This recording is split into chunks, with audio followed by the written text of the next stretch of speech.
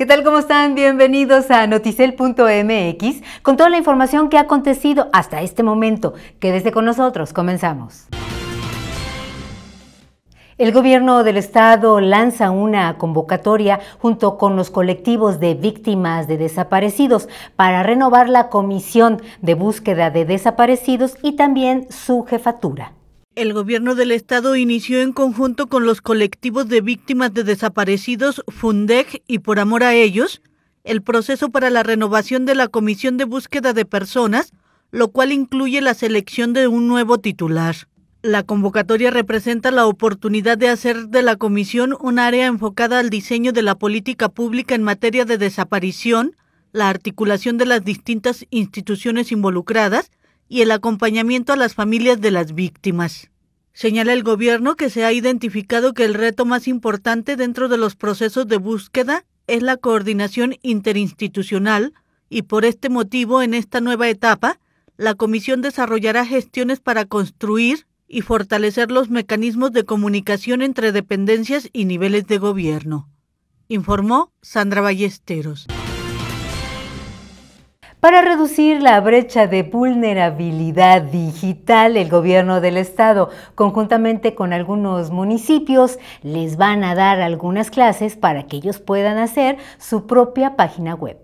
Con el propósito de facilitar el acceso de las personas con discapacidad a los portales gubernamentales y reducir la brecha de vulnerabilidad digital, personal del gobierno de Jalisco y de varios municipios generarán espacios más incluyentes. Recibirán la capacitación Desarrollo de sitios web los días 27 y 28 de junio en las instalaciones de Ciudad Creativa Digital. Así lo dio a conocer el coordinador general de Innovación Gubernamental. Mario Arauz Abarca indicó que la empresa de consultoría especializada en temas de accesibilidad web ofrecerá la capacitación en colaboración con Microsoft y 3GC para todo el personal, informó Sandra Ballesteros. Tras la muerte de una pareja en un accidente automovilístico donde estuvo presente el exceso de velocidad y el alcoholismo, las autoridades deben, otra vez, de verificar cómo están estos programas de prevención. A raíz del accidente del fin de semana pasado, donde murió una pareja de recién casados y donde estuvo involucrado un jugador de fútbol que iba a exceso de velocidad y en estado de ebriedad, las autoridades deben de tomar medidas en el asunto y analizar más programas preventivos. Así lo señala el titular del Instituto de Planeación pudimos ver que esto ocurrió pues a una hora en la que no te pensarías o no imaginarías que iba a pasar una situación de esta naturaleza. No podemos dar, reitero, pasos atrás y vamos a trabajar. Hay un comité que convoca a la Secretaría del Transporte, un comité estatal de seguridad vial.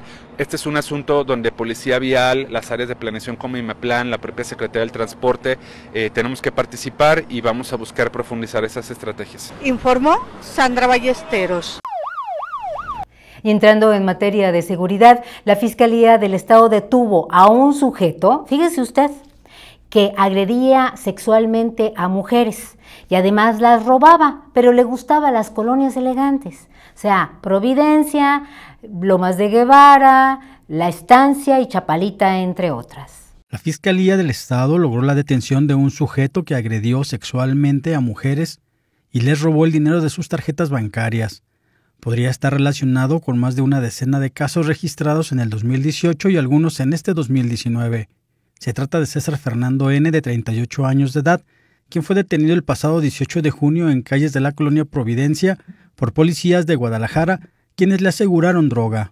Este sujeto operaba en las colonias como Prados Providencia, Ladrón de Guevara, Chapalita, Prados Tepeyac, así como La Estancia. El sujeto llegaba con sus víctimas a bordo de una motocicleta y después de amenazarlas con un arma de fuego, las obligaba a cambiarse al asiento del copiloto mientras él conducía hacia lugares apartados. Después les exigía apagar su celular, entregarles el dinero en efectivo que traían, así como sus números confidenciales. En algunos casos, César Fernando N. obligaba a sus víctimas a realizar diversos actos como desnudarse e incluso practicarle sexo oral. La carpeta se encuentra en integración, pero se tiene la sospecha de que este sujeto podría tener relación con más casos de este tipo informó David González. Y mire usted, en la colonia Miramar, tres niños, uno de tres años fue atacado por un animal, un perro, un pitbull, y además sus hermanos de cuatro y once también fueron mordidos. Un perro de la raza pitbull atacó a tres niños que jugaban en un parque de la colonia Miramar. El perro mordió al más pequeño de tan solo tres años cuando corría por el área de juegos.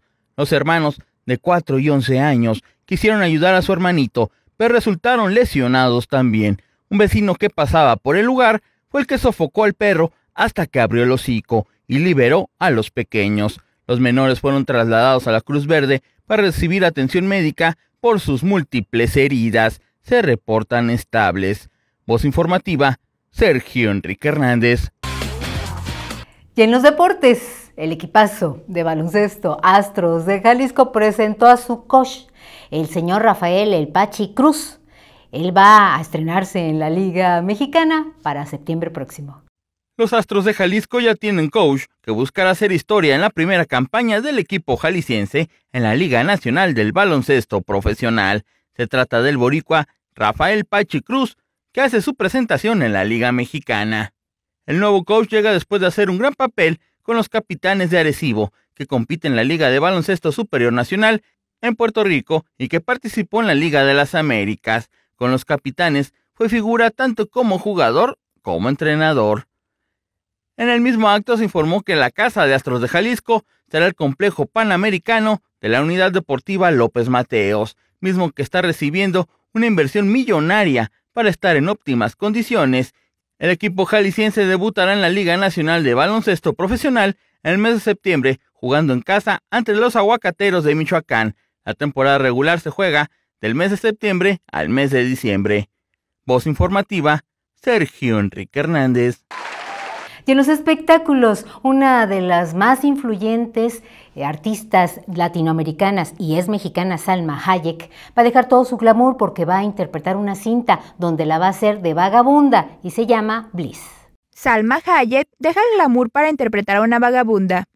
Lejos del glamour que la caracteriza, la actriz y empresaria mexicana Salma, considerada una de las estrellas latinas más importantes de la industria cinematográfica estadounidense, mostró la apariencia de una persona sin hogar, despeinada, con el cabello mal teñido y sucia. Salma compartió un video y dos fotografías en sus redes sociales, en donde muestra su caracterización como Isabel, el personaje que interpretará en la película Bills. En el video de unos cuantos segundos se aprecia un equipo de personas que arreglan su cabello y le rocian agua para darle la apariencia desalineada y sucia de su personaje. Informó Coral Cárdenas. Esto ha sido todo por el momento. Usted ha quedado bien informado. Lo invitamos a que nos visite en nuestras redes sociales y en nuestro portal noticel.mx. Hasta la próxima.